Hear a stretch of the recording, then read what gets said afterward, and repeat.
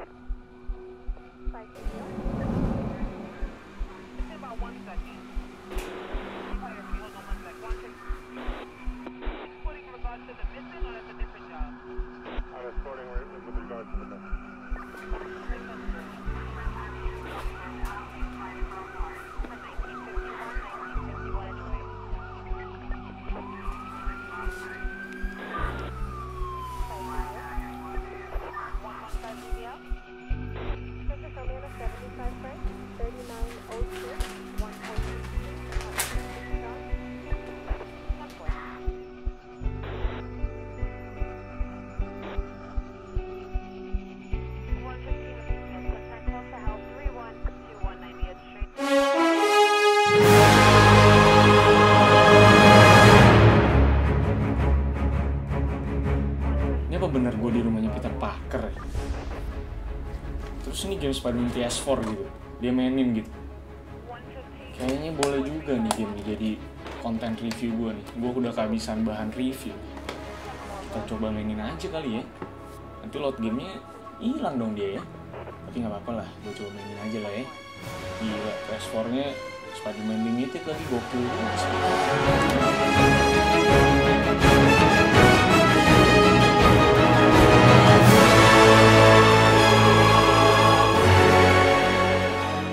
So, setelah gue mainin game Spider-Man yang rilis eksklusif untuk PS4 dan juga sudah keluar gamenya di tanggal 7 September 2018 kemarin, akhirnya gue mendapatkan beberapa kesimpulan untuk gue jadikan sebuah short review, di mana short review ini gue sampaikan kepada kalian yang mudah-mudahan bisa membantu kalian, apakah game ini layak untuk dibeli, dan apakah game ini cocok dengan kalian. Nah, yang pertama yang ingin gue bahas adalah tentang storyline-nya. Kali ini kita nggak akan lagi lihat Uncle Ben mati, melainkan kita akan menikmati seorang Spider-Man yang sudah berpengalaman selama 5-6 tahun di kota New York dan menjadi seorang superhero gitu ya. Dan selain menjadi Spider-Man pun, si developer dari game ini juga memberikan kita sebuah experience di mana kita akan bisa menikmati kehidupan dari seorang Peter Parker, yaitu seorang saintis muda yang harus berjuang mati-matian untuk hidup di kota New York yang serba mahal. Dan di sini kita juga akan melihat bagaimana hubungan Peter Parker dengan Mary Jane yang pada konteks game ini itu lagi putus sekitar 5 sampai 6 bulan. Dan juga kita akan melihat hubungan Peter Parker dengan On May juga. Jadi kalau ngomongin storyline, ini adalah sebuah storyline yang solid, yang deep, yang emosional juga yang belum pernah gua nikmati di game-game Spider-Man sebelumnya yang terasa storyline itu casual banget dan gak deep sama sekali.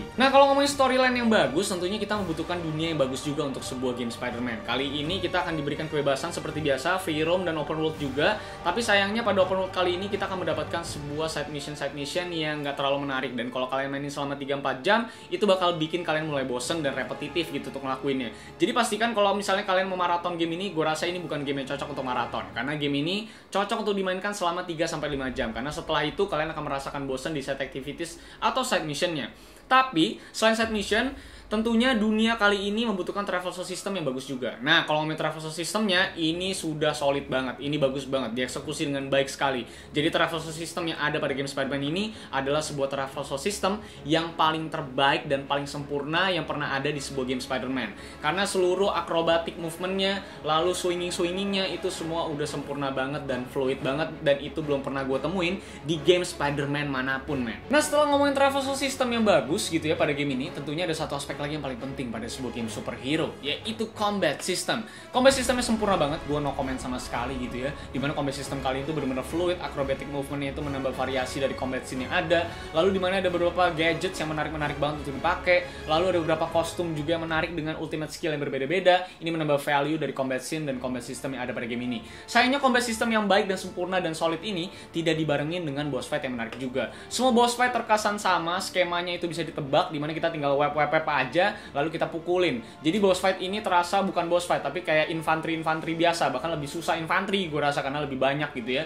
Jadi amat disayangkan boss fight pada game ini tuh kurang menarik dan terkesan monoton dan repetitif banget. Bahkan skemanya tuh bisa ditebak banget, bahkan Spider-Man kadang-kadang nggak bisa diserang karena musuhnya cuma bisa nyerang serangan darat gitu. Sangat disayangkan banget padahal rosternya udah bagus banget ada Sinister Six juga. Tapi sayangnya eksekusi dari boss fightnya kurang baik dan kurang sempurna. Jadi kalau gue disuruh berikan skor, skor dari game ini menurut gue dari The Lazy Monday 8,5. Tapi sebelum gue menutup video kali ini, video review kali ini nih ya, gue menemukan sebuah keunikan nih. Setelah gue bangun di kamarnya Peter Parker, gue menemukan bahwa Peter Parker minumannya itu sama sama minuman gue, yaitu Fruity Sosro gitu ya.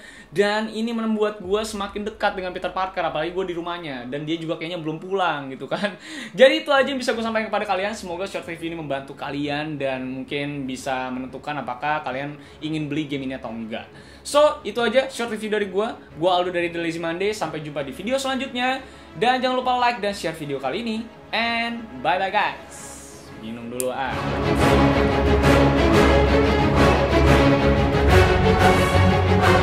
Fruity Sosro, sensasinya banyak.